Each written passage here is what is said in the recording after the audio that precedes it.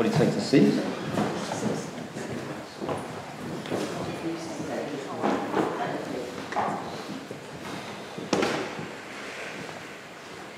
Okay, can everybody hear me all right? Good. So, firstly, a big thank you actually. Thank you for having me. Thank you for coming here, and, and uh, especially, as Janice said, on a day which is fantastic weather outside and, and the football. I see there's some colours over there as well, so uh, 6-1, brilliant. Uh, just get that out of the way. Um, and I didn't realise the climate extremes of Brentford, you know, from snow uh, a few months back into to 30 odd degrees. So, uh, again, thank you. And also a big thank you for everybody um, who presented, and also for me to understand the great work that you do here as a, as a branch. Um, it just blows me away. £37,000, I mean, amazing. And it just allows us to do the, the great work that we do as an association countrywide as well. And I'll talk a little bit about that. So I'm going to talk about three things, I suppose. Firstly, a small introduction uh, to myself. Talk about me first, which was my favourite topic. Um, and then I'll talk a little bit about our care and support services. Um, and then I've been asked to talk a little bit about my initial observations and some sort of strategic thoughts within our care directorate. Um, it was six months in, and that's what it says on the agenda, but um, it's now 10 months in, so um, I've got more to talk about. So, a little bit about me, just, just to introduce myself then. So I, my role is, is Director of um, Care Improvement, and I'll just tell you a little bit about what that means in a second. Uh, but my background, uh, it was quite commercial to begin with, really. I, I worked in many different jobs in, in procurement as a buyer for many years, finished up at Tesco. I was a buyer there for anything that went into a new store without a plug, essentially, for seven countries. So very commercial. But whilst I was there, Tesco uh, became Charity of the Year for another charity called, sorry, they didn't become Charity of the Year, Whizz-Kidz, which is another charity, became Charity of the Year for Tesco. And I was asked to do some pro bono support and help to buy wheelchairs cheaper. And to be honest, I, um, I enjoyed that back then I did the day job, really. I was going quiet in case someone from Tesco's is here listening to this. But, um, so I did about six, six years, I suppose it was. Um, no, sorry, four years pro bono, and then I joined permanently as Director of, of Partnerships uh, for about five and a half years. I really, really loved the third sector and really loved the opportunity to improve healthcare, and um, that was my main role. Uh, whilst there, I also sat as a non-exec director for a couple of other companies. One is the Wound and Lymphedema Service in Mile End, and uh, another organisation that um, 3D prints orthotics, which is uh, another passion of mine, which is around technology, health improvement in that space. Uh, also did a lot of work with government, and I sit on the national. I still sit on the National uh, Wheelchair Alliance, which is uh, set up to improve provision of wheelchairs across the country. And it, it was whilst I was there that I met Karen Pierce, who was our previous director for Care for the South. Uh, and I thought to myself, if everyone was as great as Karen, I would like to join this organisation. And uh, when the opportunity came, I, uh, I went for it. Um, and also there's a picture of me there. Unfortunately, I'm not on a Brompton, so I've been out, out trumped um, but that was, uh, I cycled Land's End to John O'Groats uh, for Whizz-Kidz, and I still like to do a bit of fundraising. So I'm doing London to Paris next month for the association, and uh, please come and uh, talk to me about sponsorship. Uh, all money greatly received. Okay. So what, what is my role? Um, there's a few parts to it really. Firstly, it's the overall leadership and, and sort of development and direction of the care and support team that we have in the association, and um, it will become clear what we do as I carry on. Um, it's also to ensure that we deliver an equitable and, and sort of focused um, focus on positive outcomes for people with MND through the services that we support. So in, in essence, what I'm saying is that we want to listen to everybody that is affected by MND and shape our services uh, internally around that input. Uh, and then also it's about improving services through our statutory um, colleagues as well, so be that uh, NHS or local authority. Um, so it's, it's very exciting and I'm very proud to um, stand here and talk to you about it. But firstly, um, there are some slides that quite kind of common for an AGM, I suppose, around care and support, and it's just, just to bring you up to date on, on what we do and how we do it. So I'm going to start firstly by talking about care centres and I'm sure you've all heard of our care centre network. We've got 21 across the country, and actually our 22nd opened this month, it was, yes, first of this month, which is in Stoke, uh, and that's a network. supporting um, across all of the 22 care centres now, 3,500 people with MND and helping them to access multidisciplinary care um, in those areas. So fantastic, fantastic network. I think your nearest here is probably the National Queen Square, I think. Um, we've touched on it a little bit today already as well, but we also have a team of amazing volunteers, many, some of which are in the room today as well, so thank you for your support. Um, and the, the key volunteer within care is our AVs, uh, who are specially trained volunteers who uh, offer information and practical and emotional support to people affected by MND. Um, as well as being someone to talk to, they're also uh, on hand to help those living with MND navigate the health and social care system as well. Um, and just to, to echo Janice from earlier, thank you for everybody in the room that, that has that role. Uh overall, there's over 300 uh, association volunteers associated with the association. This slide talks a little bit about our benefit advice service, and hopefully you've heard of this in the room. Have you all some nodding of heads? Um, it was piloted last year as a an opportunity to support people to claim the benefits that they are um, eligible, eligible to claim.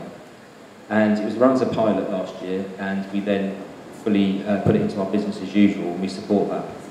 And in the eight months to, to the end of the year, the last eight months of last year, we um, allowed, identified over a million pounds of benefit to people living with MND, which is just amazing. And already in the first five months of this year, um, that's £810,000 of benefits that have been, um, uh, people have been made aware of and that they can claim.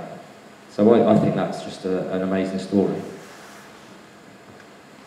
Uh, we also have our MND Connect helpline, um, and the numbers there. It did change last year, so hopefully you've all got this, this new uh, number. Uh, and last year the team responded to 8,600 requests for help and that's through telephone, through email, and through um, an online forum as well. Uh, as well as the, there we go. Um, as well as the uh, Connect helpline, we have a range of information, fact sheets and uh, publications, and there's some on the table over there that I noticed, so please do have a look. And some fantastic figures there, so over 55,000 publications were downloaded from our website, and 37,000 fact sheets and publications were distributed last year. So huge scope, and we've also won awards for this uh, this piece of work. Um, some some of the, the, resources that we produce, uh, and they are being used across different countries as well. So. As well as that, we have uh, a number of pieces of equipment that we loan, and there's some pictures of them there. As you can see, riser recliner chairs, um, light writers, Alloras, um, and iPads, voice amplifiers for voice banking, uh, to name some. So last year we supported 553 chairs, essentially, that were loaned out, and uh, 61 Lightwriters as well.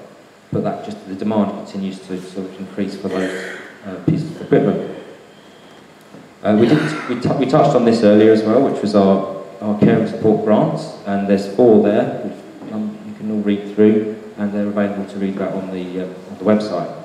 But the figure here to talk to you about is a million pounds was the, the circa figure that we used, um, that we supported people on through grants last year, uh, which is a huge amount, supporting 1,500 people. And some of those are available um, through um, branches and groups and others, such as the care grant, are an assessed need that have to be um, sent through the head, head office. Wheelchairs, uh, again we offer um, a service to provide information, advice and, and low-level advocacy for wheelchairs. This is very much a service that should be a statutory service, but we know quite often it's very difficult for people to access uh, wheelchairs quickly. Um, and so we have some stock in some places, uh, and we have a, a, lady that we've just uh, recruited to um, to this role called uh, Debbie, who's based in our uh, office in London, in, in Northampton. And uh, if you have any questions around wheelchair provision, she's the lady to call through the um, MND Connect helpline. So in 2017, a total of 89 applications were approved, with a total of 70, which was £72,000 worth of um, grants to, to um, help with this application process wheelchairs, which is amazing.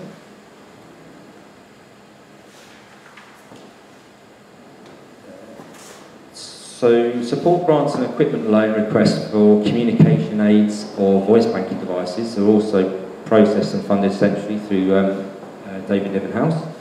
And in 2017, we funded 111 applications for communication aids or, or apps associated with that, uh, which was just over £40,000. Uh, there's a couple of other projects that we are also looking to support, uh, we are, well, we are supporting. Uh, provision of AAC assessment kit for local speech and language therapists, so we provide uh, equipment to those speech and language therapists. And um, we're currently uh, piloting a voice banking volunteering project as well um, across the country. And finally, on this little section, just as a, uh, an update to you for what's going on in and support, is the NICE guidelines. We did touch on this earlier. Um, but so far, we've developed um, information for people affected by MND to help um, understand what the guidance actually says and what, what it looks like. So that we've actually, I don't know whether you've seen it, there's a small um, leaflet which is available for you to, to take away, to take into uh, your discussions with healthcare professionals. Um, we've been promoting the guidelines uh, across the NHS and social, social services. And we've audited it as well. So we, um, through our care centre network, we've produced an audit tool which we have challenged our care centres to complete. Um, and we assessed their provision against the NICE guidelines. And there is actually a State of the Nation report which was launched uh, last week at our Care Centre Directors Conference, and uh, that's available on the website. So come and see me afterwards if you um, would like to know where that is. Uh, otherwise, I'm sure we can, we can circulate that around. Okay, so I now wanted to, it's a bit more sort of free flow now, they're my slides that I wanted to update you on, but um, I wanted to now talk a little bit about my, my observations, as I said, sort of kind of new into role, or newish into role. So, firstly, I just wanted to sort of set the scene in terms of the environment that we're working in at the moment. And, and again, this has been touched on a little bit already. Um, and it paints a little bit of a doom and gloom story, but it, I suppose it's the world that we live in. So, firstly, cuts to public spending. You know, disability benefits are under pressure, there's eligibility limitations for lots of different areas. Um, NHS and statutory services are under more pressure now than they've ever been. Um, social care and sports service are in the same camp, really. There's an increased demand and more, more complex requirements um, with an ageing population. Um, also, for, for us as a third sector organisation, you know, it's a difficult environment. We've got, last year, was it last year, the year before now, probably the year before, the output from the kids company and Ox, Oxfam was last year on safeguarding. So we, we've really had to make sure that we're um, leading the pack on, on those areas and we're working to really robust safeguarding um, uh, processes and policies. And also data protection, which I'm sure you, you're fully aware of. Um, also internally, you know, we've got competing projects as a, as a care director, care and support director, and as an association. So the CRM system, which is our new computer system, is being implemented this year. We've got a new website that we're, we're developing. GDPR talked about. Um, so there's lots of competing projects that is sort of we're, we're operating um, against. And so there's this real balance between where we spend our time and our money versus the impact that that money and time has for people living with MND. Because at the end of the day, that's why we're here. And I'll come on to that. But, but we have come a long way. I couldn't resist that picture. You might know the, the gentleman there. I love seeing a president uh, getting soaking wet. Always a good sign. So one of the three key priorities the, for the association, alongside our research and our awareness, is to um, ensure that people um, living with MND can access appropriate care when they need it. And so we do that through a number of different ways. I've already talked about the care centres, so we've got our 22 care centres. That is, a, in terms of how much that costs us, that's around 1.2 million pounds a year that we have to fundraise to support those centres. So it's, you know, it's, a, it's a large amount of money. The Ice Bucket um, challenge uh, allowed us to take the opportunity to fund a number of different posts across the country.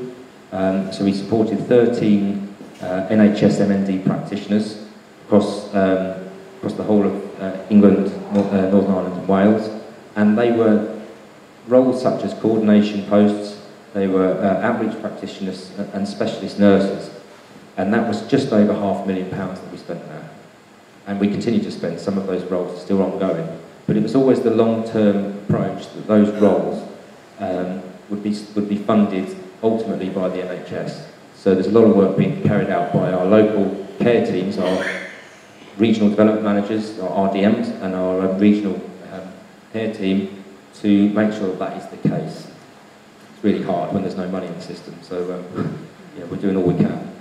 Um, and then we also fund, as I said, our equipment and our uh, other forms of care support. So all of these things have to be put into the mix when we're deciding where to spend our money.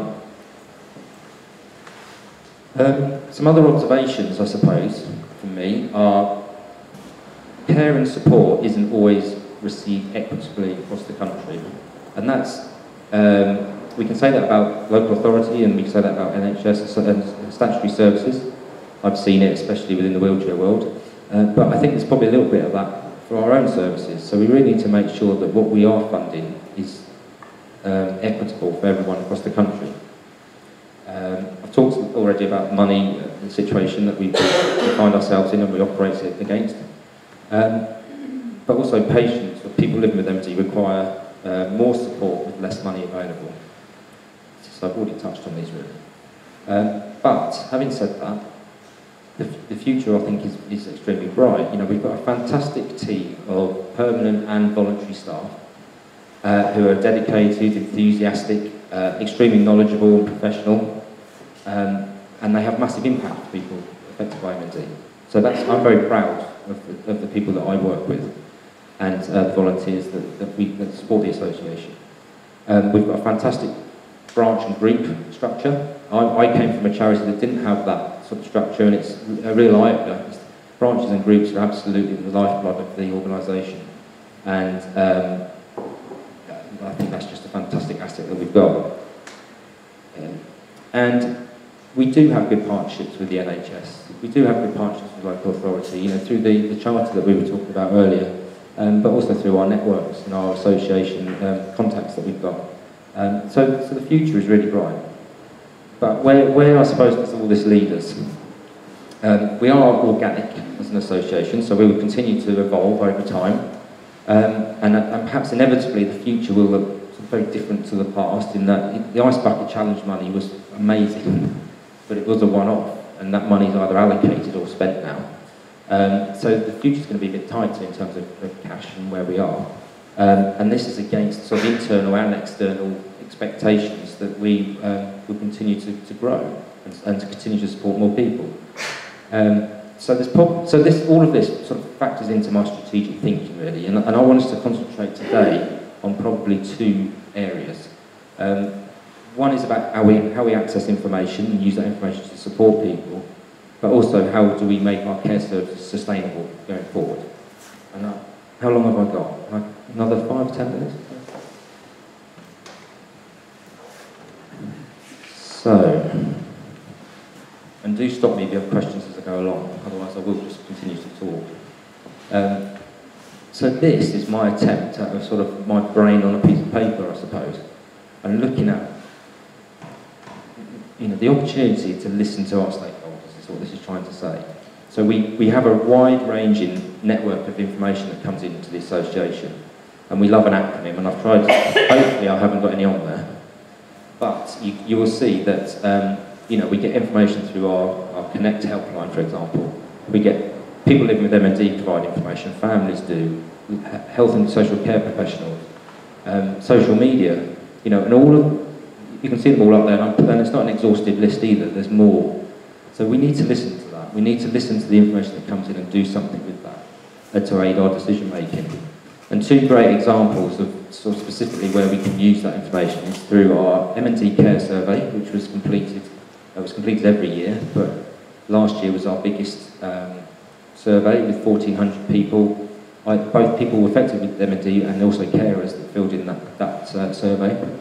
And our MND audit, our Transforming Care audit, which is the one I just talked to, talked to you about, which is the audit that the care centres fill in and um, assess themselves against the NICE guidelines. But imperatively, what, what, we have to do is we have to gather this information, we have to filter it, and we have to use it. And um, I'm doing all I can to figure out the best way of doing that. And I think we can use technology, and we can use um, you know, this fantastic network of people that we've got already. So you watch this space on that. It's not, it's not the easiest of tasks because then, you know, what, what do you do with that information? But I'm personally based in Northampton and in London, and I'm almost sort of the conduit between our care director and our external affairs director. So again, that's that's a new that's a new role really, in that we can then use all this information to directly campaign uh, and for policy change and for um, changes to services. Um, and I think finally in this area, we could do more in terms of something like a patient advisory board. You know, engaging more with people um, that actually have MND and talking to the people that we support in a much better way. So I'm again doing everything I can to make sure we shape um, what that looks like going forward.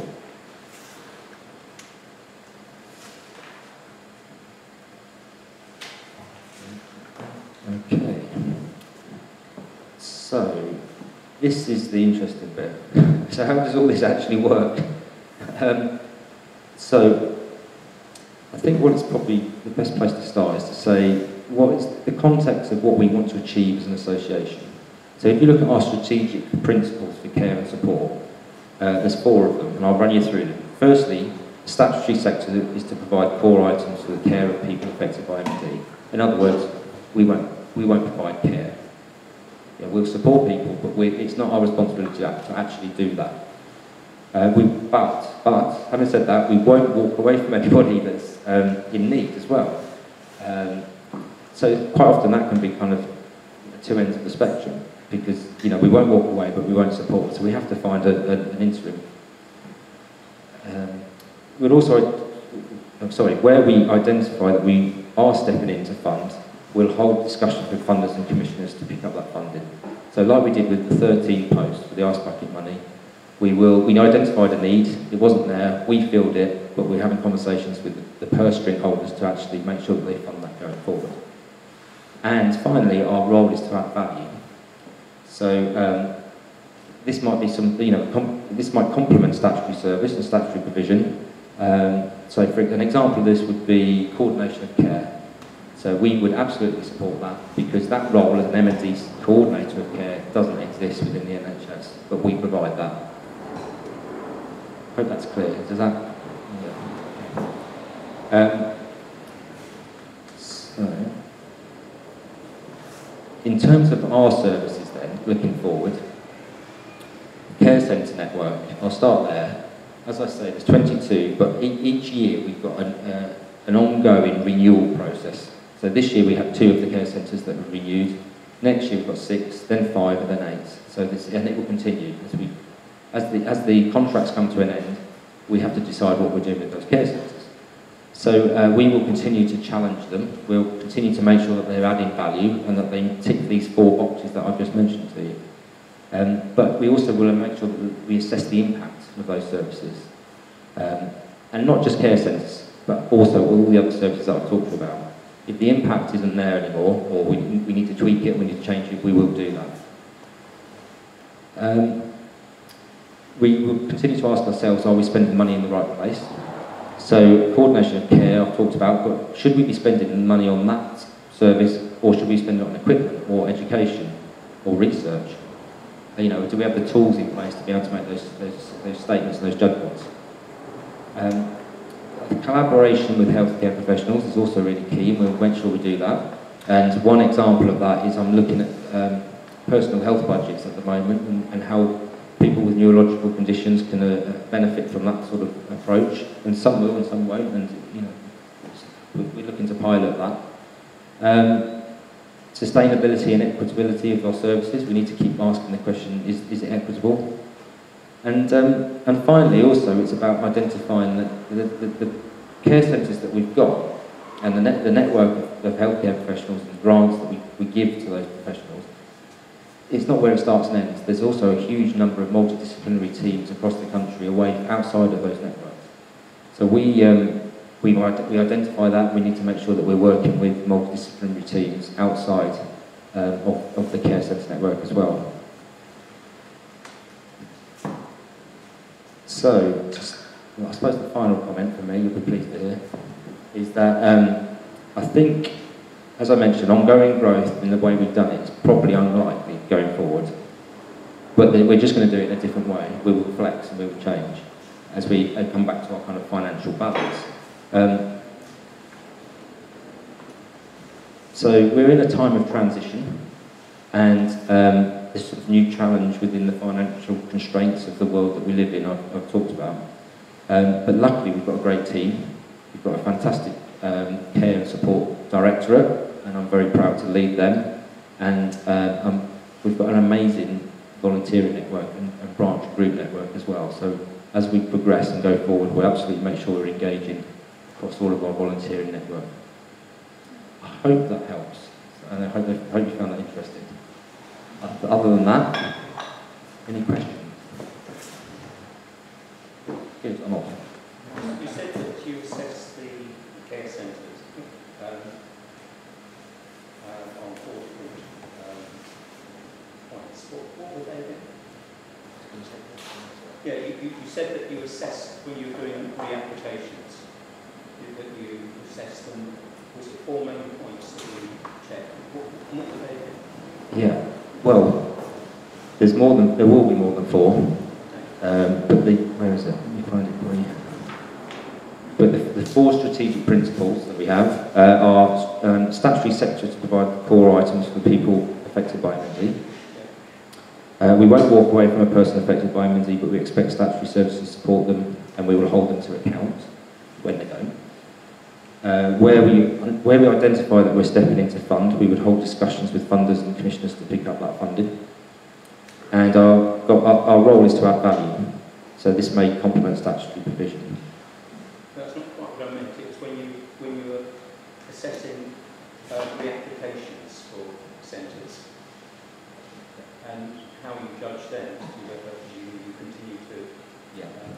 well, so against those principles, what, what we're going to do, and this is work in progress at the moment, is that we, we have a, well, we do have a very robust governance. So we have a care committee that meet and they assess the applications that come in for the renewal of all grants for care. But there is scope to change that and to improve it even further and so I'm taking a, a, proposal to our care committee next month, which is looking at the criteria that we use to assess against that.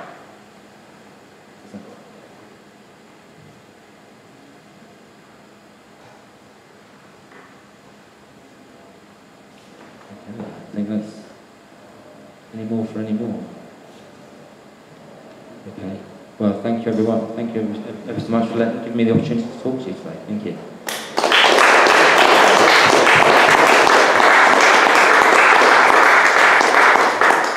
So a very big thank you to you, Nick. And maybe if anybody's got any questions, if you stick around just for a few minutes and have a, a direct chat with, uh, with Nick, that would be great. I mean, as a trustee, I can, if I'd just like to add that a great, I'm very aware that a great deal of thought goes into the strategy for the association, the changes that need to be made. We are obviously operating, as, as Nick said, in very difficult times. Um, and um, but I, I, can say that we do have a fantastic team uh, running this, so I'm very confident that, um, that the progress will be made and will be made along the right lines. But big thanks to Nick for giving up his um, Sunday afternoon, football afternoon, to come and talk to us. Um, and again, a very big thank you to all of you for coming today. Uh, if I could just remind you that our next open meeting will be on um, Sunday the 16th of September where we will be talking about um, voice banking and communications aids. So many of you know Helen Patterson, who has very kindly come along today, um, and she is going to be leading this session, which is about communications aid, uh, communication aids, and voice banking. And Karen Pierce was mentioned, who used to be uh, Director of Care for South. She hasn't uh, we haven't lost her entirely, and she's now volunteering with us as a voice banking volunteer, and she's going to come along as part of that uh, to talk about uh, to talk about what she's been doing. So I think it will be a very interesting session, and I hope we'll see a lot of you there. Um, In the meantime, I obviously hope I'm going to see you before then, in July, at the walk. Uh, we still have, I believe, I haven't looked, I'm assuming, oh, not that much. There is still some cake left, so um, please help yourselves, and uh, thanks again.